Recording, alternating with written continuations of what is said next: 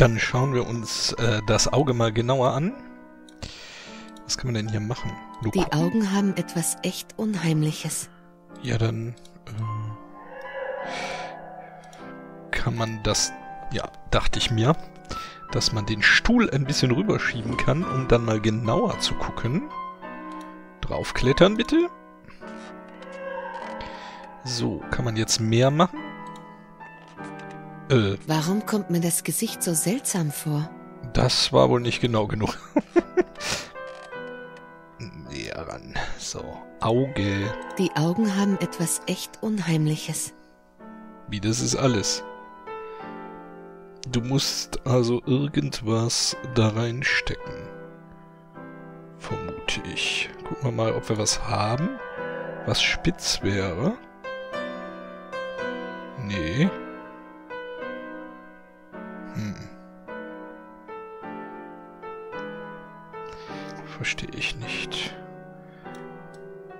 Das noch näher rangucken?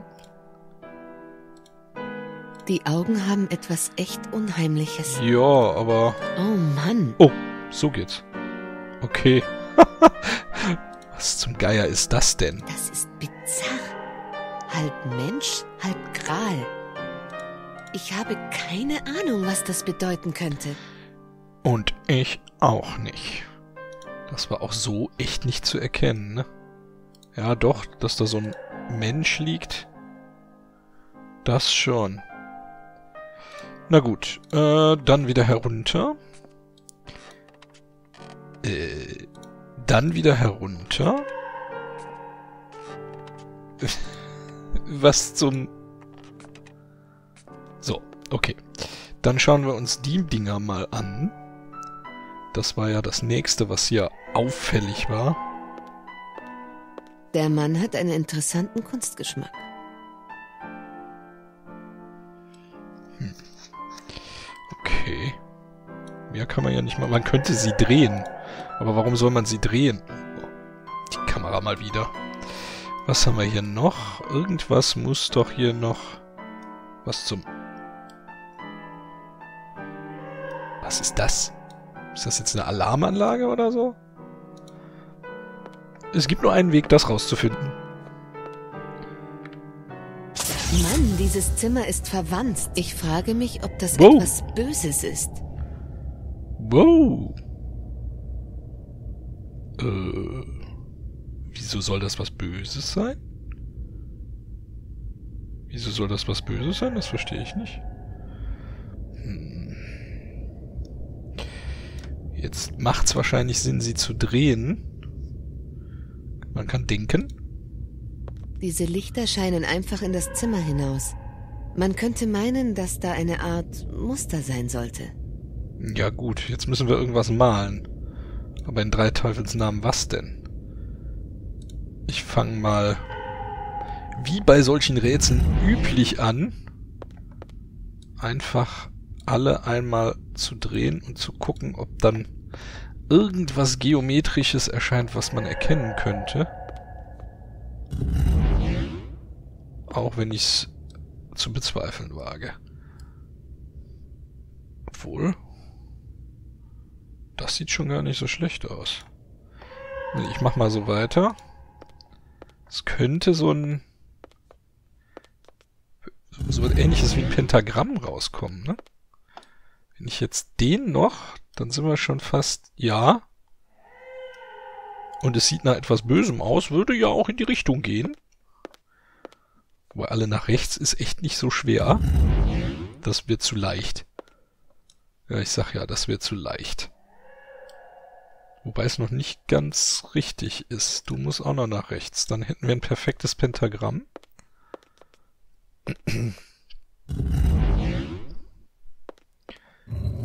Ui, das war tatsächlich die Lösung. Oh mein Gott. Hm. Da freue ich mich aber. Ich hab... Das ist Großartig. Ja, das ist großartig. Ich. Ja, wir haben ein Pentagramm gezeichnet und gehen jetzt eine durch eine Luke im Boden in den Keller unter ein Pentagramm. Spaßig. Und hier der äh, Knilch schaut uns dabei grinsend zu, wie es scheint. Ich werde Gabriel anschreien, weil er dumme Risiken eingegangen ist. Ja, und was machst du gerade hier? Oh je. Ich gehe erstmal hier mit Kamera weiter. Was ist das hier? Sie ist abgeschlossen. Das auch noch. Sie ist abgeschlossen. Das auch noch. Sie ist abgeschlossen. Ja, Himmel. Hier sind alle Türen abgeschlossen. Schauen wir mal, ob wir irgendeine Tür finden, die, äh... Was ist das? Von da kommt das Schreien. Gucken wir erstmal, ob ich hier noch woanders was... Weinfässer. Ganz viele Weinfässer. Jetzt stehen mir tatsächlich die Haare ein wenig zu Berge. Okay, ich denke mal, dass wir tatsächlich hier lang müssen.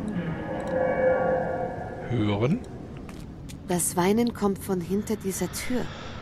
Okay. Atmen wir einmal tief durch. Und dann wollen wir mal. Oh, großartig. Das ist nur eine Traubenpresse. Ah. oh nein.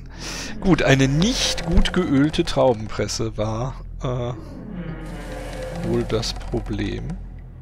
Hier oben steht aber eine Dame. Die können wir ja mal ansprechen. Pardon? Oh, mademoiselle, douce mademoiselle, si jeune, si jolie, si appétissante. Lassen Sie los. Ich verstehe nicht, was Sie sagen. Lassen Sie los. Pomme bleue, mademoiselle, pomme bleue. Lassen Sie los. Pomme bleue. Ich verstehe nicht, was Sie sagen. Lassen Sie los. Blauer Apfel. Pomme bleue, aimeriez-vous des pommes bleues? Aufhören. Bleue. Ou préféreriez-vous uniquement du jus Hein? Un jus tout bleu, un jus sucré, un jus de raisin pressé à coups de poing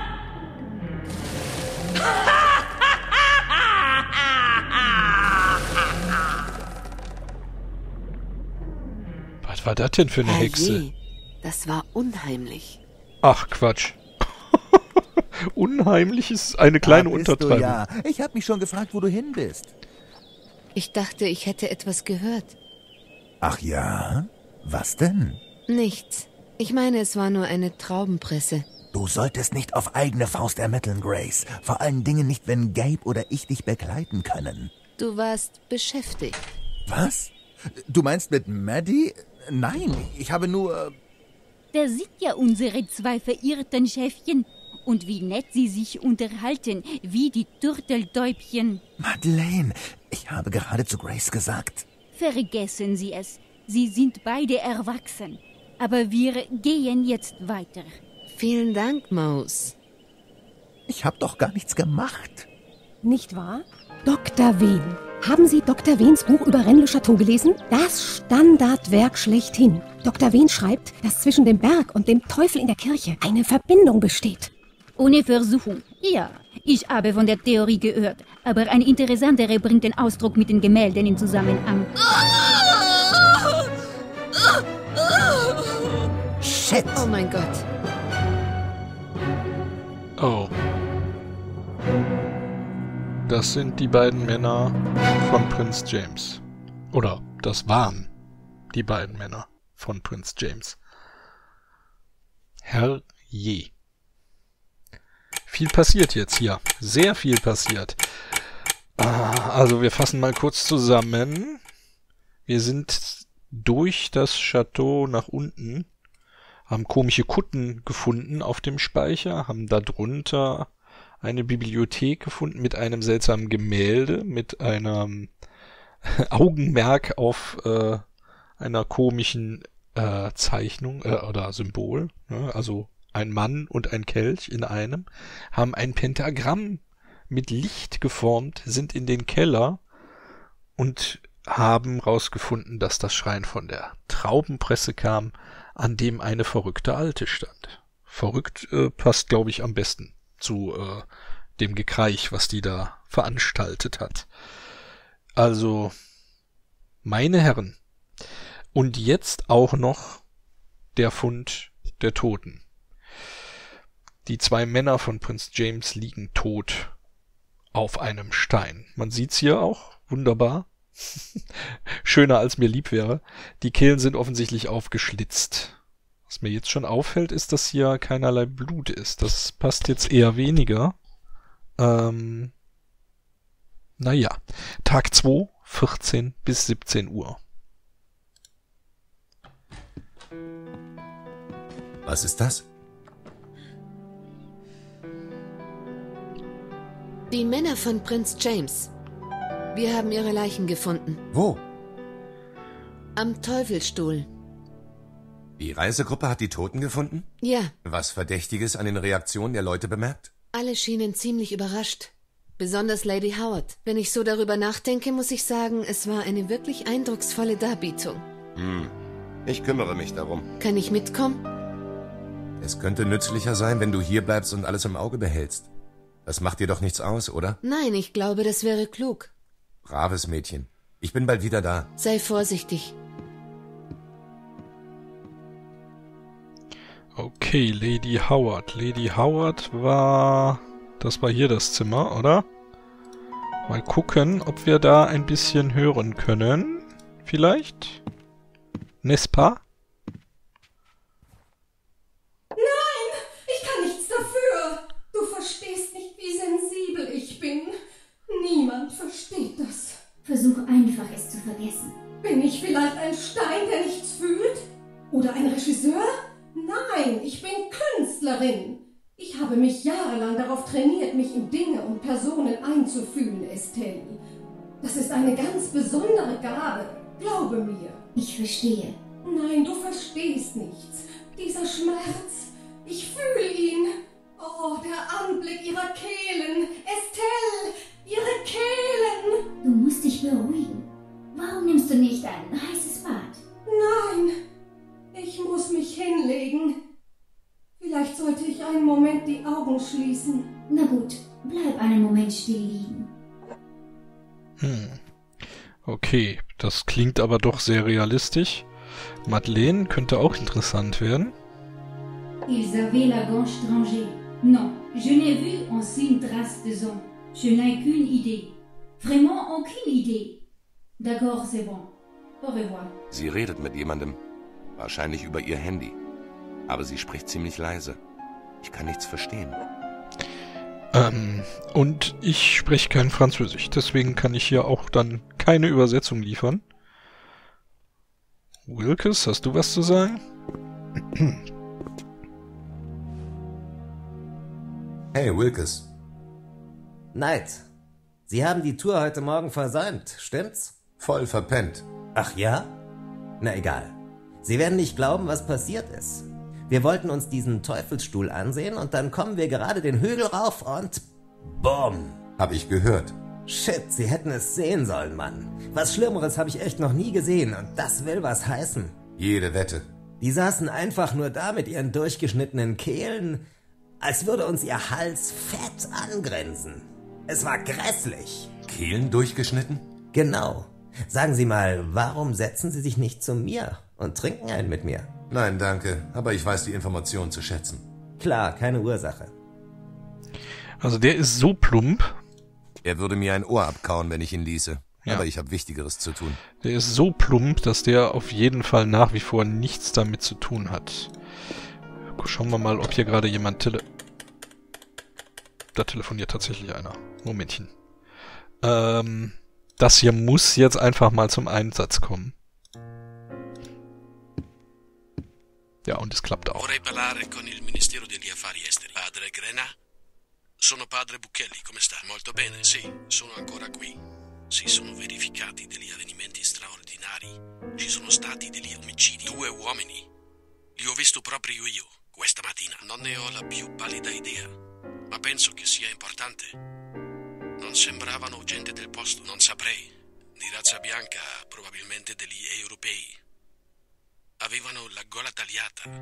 Non c'erano tracce di sangue. No, non credo proprio, ma cercherò di ottenere ulteriori informazioni. Questa è per ora la prima indicazione di attività. Sì, e che sia anche con lei. Also ich weiß nicht, wie euer Italienisch ist. Ich verstehe kein Wort. Falls ihr es versteht, habe ich euch jetzt reingequatscht. Entschuldigung. Aber wir haben es auf Band. Und wir haben in Sydney die Möglichkeit, das übersetzen zu lassen. Was sagst du? Nur Smalltalk. Ist hier noch jemand drin? Monsieur Knight, Oh. haben Sie die überaus schreckliche Nachrichten schon gehört? Sie sagen, Sie sagen, am Teufelsstuhl hat man zwei Leichen gefunden. Oh, mich schaudert bei dem Gedanken. Ganz schöner Mist, was? Oh, Monsieur, wie nett Sie das doch ausdrücken. Ich bin ja so erleichtert, dass ich mir das nicht ansehen musste. Und was für ein Glück für Sie, Monsieur, dass Sie heute Morgen im Hotel geblieben sind. Ich bin nicht gerade berühmt für meine Pünktlichkeit. Ist das alles, was Sie gehört haben? Wer könnte schon über solche Dinge sprechen? Die Gäste, glaube ich, sind alle sehr traumatisiert. Vielleicht nicht alle. Vielleicht, nicht alle. Richtig. Ich wollte in den Speisesaal. Ist da jemand? Niemand da. Dann würde ich sagen, gehen wir zurück in unser Zimmer. Blub, blub. Blub, blub, blub.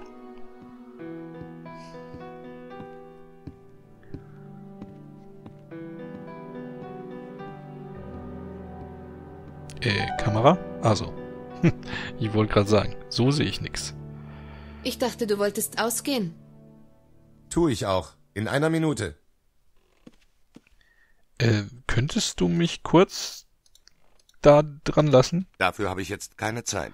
Ich habe andere Eisen im Feuer. Nee, ich hätte das gern übersetzt gehabt.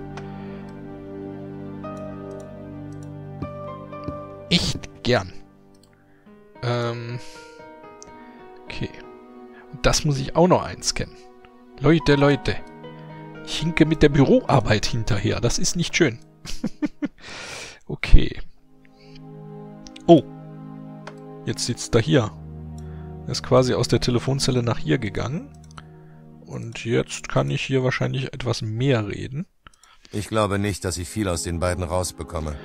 Nicht Oder- bei dem Zeug, das sie da in sich reinschütten. Oder auch nicht. Was ist das? Absinth oder sowas?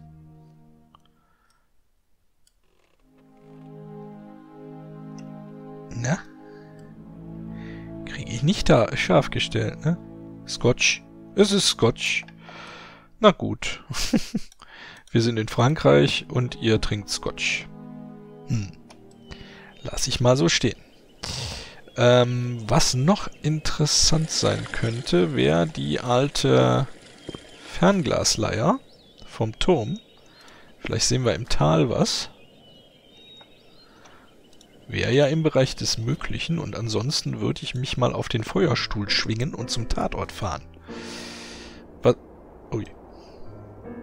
Was ja auch interessant sein könnte, wollte ich sagen. Und dann steht hier der AB. Zeit für ein Gespräch, würde ich sagen. Guten Tag. Tote Guten Männer. Tag, Abeano. Wie war die Führung? Sie haben doch sicher schon davon gehört, Mr. Knight. Was gehört? Meine Güte, Mann, wir haben zwei Männer gefunden. Will sagen, die gesamte Reisegruppe stolperte über... Nun, zwei Männer wurden brutal ermordet. Oh. Sie sind nicht überrascht. Sollte ich? Ich weiß nicht, was Sie meinen. Haben Sie die beiden Männer schon mal getroffen? Nein, niemals. Und Sie haben keine Ahnung, wer... Sie wissen schon. Sie spielen mit mir. Sie haben es gehört. Ich mag Ihre Spielchen nicht, Mr. Knight. Ich selbst halte auch nicht viel von Spielchen. Dann lassen Sie uns diese Diskussion beenden, ja? Es war auch so ein äußerst anstrengender Tag. Ähm, Ja, ich weiß, dass er lügt. Aber vielleicht sollte ich ihn eine Weile schmoren lassen. ich wollte gerade sagen, hast du noch nie gesehen, die zwei. Deswegen waren die auch am Vorabend bei dir. Ah, Lügner. Gut, ähm, was wollten wir machen? Wir wollten mit dem Fernglas schauen. Auch wenn ich ehrlich gesagt bezweifle, weil hier konnte man ja gar nicht so viel. Hier konnte man ja, glaube ich, nur zum Chateau schauen. Ne? Das war doch... Nein? War es nicht hier? Doch. Beim Chateau ist natürlich gerade überhaupt niemand. Warum auch? Warum auch? Ähm, die sind ja alle im Hotel oder beim sogenannten Teufelsstuhl. Äh, so, dann würde ich sagen...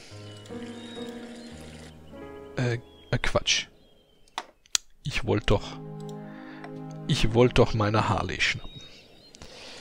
Jupp, da. Ich gehe die Harley holen. Okay, jetzt weiß ich natürlich überhaupt nicht, wo der Teufelsstuhl ist. Hier sind ein paar Symbole dazugekommen. Chateau de Serre. Poussins Grab. Poussins Grab? Okay. Lewis Haus.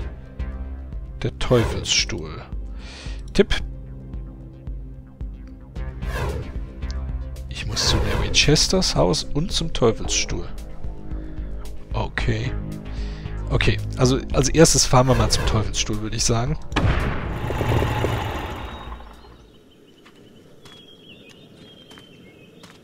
Schwubbeldebupp. Geht wahrscheinlich da lang. Ne? Hier waren wir noch gar nicht. Nee, da geht's lang. Wo, wo geht's denn da lang? Okay.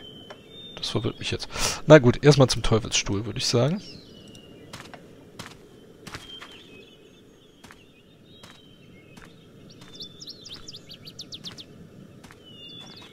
Mann, verdammt düster. Himmel, hast du das etwa absichtlich gemacht? Überhaupt nicht. Was zur Hölle soll das dann? Ich schätze mal, das sind die Männer von Prince James, korrekt? Ja, einmal. Und wieso grinsen die uns jetzt mit ihren Kehlköpfen an? Na, du bist doch der Polizist. Äh, AB Arno? Keine Ahnung. Die Entführer? Vampire. Hm. Hm. Also ich glaube, dass die Entführer natürlich was damit zu tun haben. Vielleicht sind die Entführer auch Vampire? Sie waren vorher beim AB, aber das war der nicht.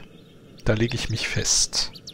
Also sagen wir mal die Entführer. Es mussten die Entführer sein, meinst du nicht? Wenn das stimmt, dann sind sie eine ganze Ecke brutaler, als wir dachten. Und bekloppter. Das war ja kein normaler Mord. Ich meine, schau dir die Leichen doch mal an.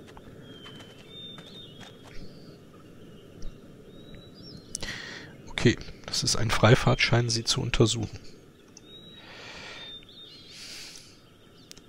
Hier liegt die Brille, die man nicht anklicken kann. Na super. Okay. Das sind die beiden Männer von Prinz James. Sie sind beide vollkommen weiß. Die sind ja auch beide völlig trockengelegt worden. Komisch. Ich weiß, was du jetzt denkst, aber wenn das Vampire waren, warum dann die langen Schnitte? Das wäre ja so, als würde man aus einer Salatschüssel trinken wollen. Vielleicht haben sie ja eine wirklich große Klappe. So wie du. Aber klar, ein Vampirkult und Mick Jagger hat ihn begründet. Erscheint mir jetzt alles völlig logisch. Humor ist jetzt echt nicht treffend. okay. Ihr ganzes Blut wurde abgelassen. Ja. Ein sauberer Schnitt. Und tief. Die haben genau gewusst, was sie tun. Offensichtlich. Ich sehe kein Blut. Ja, komisch, was? Die Kehlen sind aufgerissen wie Geschenkpapier, aber nirgendwo ein Tropfen Blut. Ja, und das ist das, was keinen Sinn macht. Was ist das da eigentlich? Da sind Kratzer auf dem Felsen. Aber die sind alt. Haben wahrscheinlich nichts mit dem Mord zu tun. Okay, das beruhigt mich natürlich vollkommen. Ähm, ist das bei ihm hier gleich? Offensichtlich. Eee, die sehen wie Schlachtvieh aus. Ihr ganzes Blut wurde abgelassen. Tja. Das heißt, das ist nicht der Tatort, oder? Das ist ah, Teufelsstuhl. Das können wir vielleicht auch mal kurz lesen. Ach, Gabriel, komm doch her, gewackelt. Lass dir Zeit. Noch eins von diesen Touristenschildern. Jetzt können Sie auch noch hier wurden Leichen gefunden draufschreiben. Ja, genau. Lese es mal. Ich lese, kann aber nicht erkennen, ob es tatsächlich etwas heißt. Hä? Nichts daran verrät mir, warum die Täter diese Stelle ausgesucht haben. um die Leichen verschwinden zu lassen. Ein alter heidnischer Thron oder ein geologisches Phänomen? Le Feuilleton du Diable ist eines der beliebtesten Elemente der Schatzsuchergeschichten von Rennes le Chateau. Ja, und es ist eigentlich offensichtlich, dass die Leichen hier nur abgelegt worden sind. So, wir wissen ja, man sollte sich hier mehr umschauen. Vielleicht gibt es hier dann doch noch was anderes zu sehen. Hm. Das ist ja wieder weitläufig ohne Ende hier. Oh, und die Kamera. Dieses störrige Biest von... Ich habe was gesehen. Ich habe was gesehen. Shit. Maus, komm her. Was ist denn?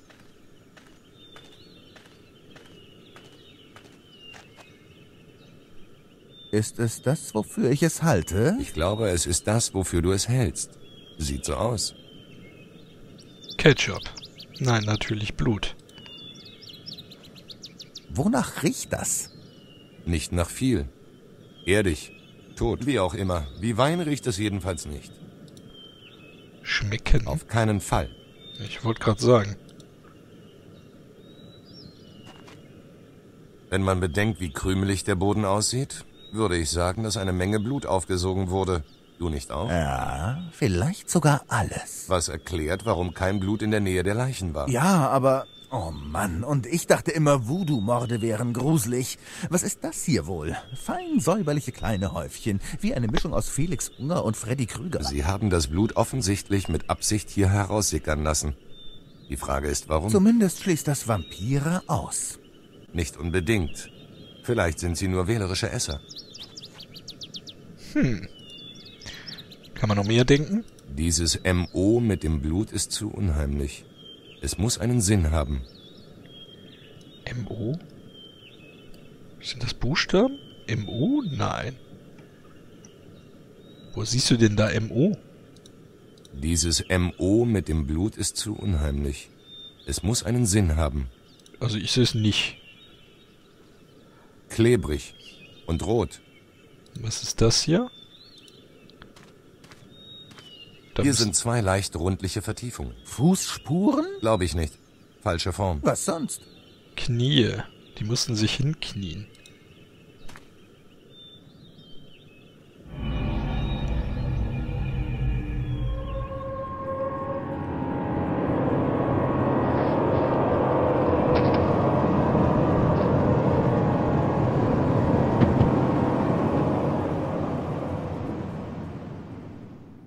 Knieabdrücke. Natürlich. Die Täter haben sie gezwungen, sich hinzuknien und dann... Aber es gibt überhaupt keine anderen Abdrücke. Es sollte doch zumindest Anzeichen für einen Kampf geben oder wenigstens die Fußspuren der Angreifer. Die Opfer haben sich doch nicht einfach hingekniet und waren kooperativ. Na, Neid, was ist mit den Angreifern? Hm.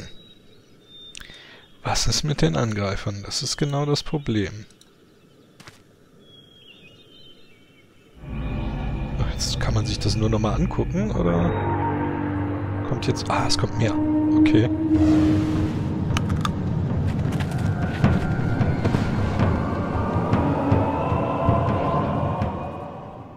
Boah. Shit. Was? Mann. Was? Nichts muss ich mir eingebildet haben. Mann, du bist ja noch bekloppter als damals in New Orleans. Weißt du das eigentlich? Ja, das weiß ich. Ja, das weiß ich. Schwebende Angreifer. Ich bin nicht sicher, was ich gesehen habe, aber ich will es bestimmt nicht nochmal sehen. Ja, das kann ich verstehen.